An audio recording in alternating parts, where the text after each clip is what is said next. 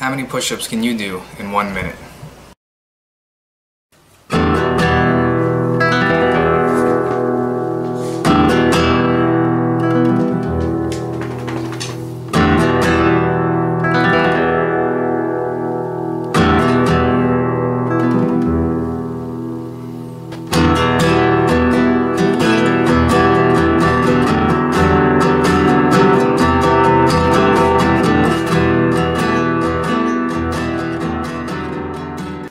Push-up test is one of many fitness assessments used by personal trainers.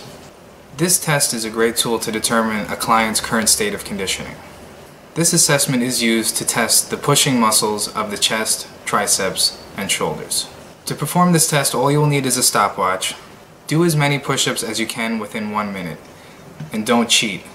Only complete push-ups will count. Record your score and reassess on a weekly or monthly basis. Don't be upset if you get a low score on this test. It just means that you need to further develop the strength and endurance of the upper body, specifically the chest, triceps, and shoulders. As you progress through your fitness program, you should be able to increase your score with each assessment. The following table shows the desired results for the push-up test based on age range.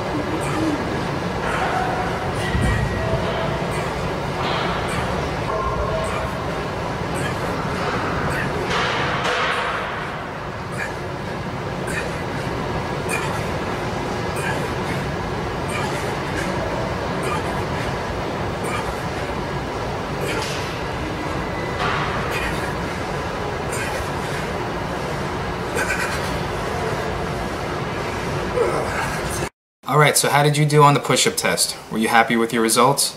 If not, you know what to do. Develop the chest, triceps, and shoulders, and reassess yourself as needed. If you found this video helpful, please like, comment, and subscribe for more videos. Thanks for watching, and I'll see you next time.